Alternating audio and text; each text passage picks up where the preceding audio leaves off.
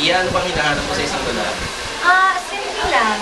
Ah, gusto ko athletics, gusto ko guwapo, gusto ko mabango, at higit sa lahat, kailangan talaga suplado.